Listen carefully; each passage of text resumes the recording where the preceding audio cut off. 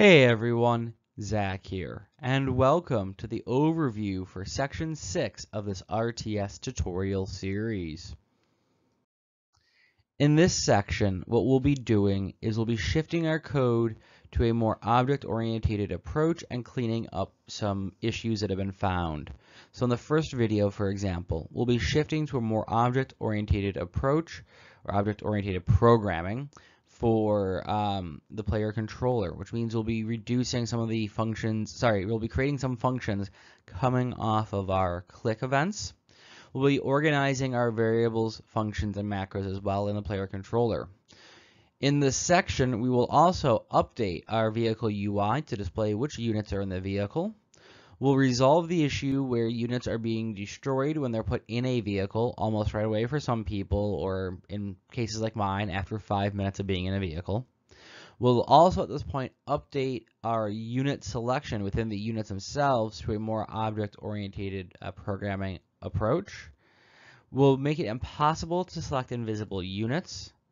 And we'll be updating the move to vehicle code for units in addition to this, we'll also fix the, um, we'll also set it up so it's a little bit different in the move to buildings as well. There's a little bit that we're going to tie together with that um, object-oriented programming approach.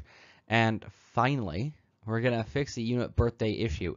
If there are other issues from the earlier sections that I have not listed or not have talked about resolving, please let me know in the comments below it's important, you know, in terms of quality assurance and game testing that, you know, you guys let me know these things. So I'm going to miss stuff. And that's just because I'm not playing around with it the way you guys are. I'm thinking about the features that I've intended and how I'm intended to use them. So I'm going to miss some of these things. If there are things that I haven't spotted out, you need to let me know. And very briefly, section 7 will combine all three of the core components, actually four of the core components. So that's going to be time, resources, buildings, and units. So we're going to have units harvest resources. So they're going to go out, collect, and return those resources. We're going to have um, a max resource setup where the silo increases how much resources a player is allowed to hold.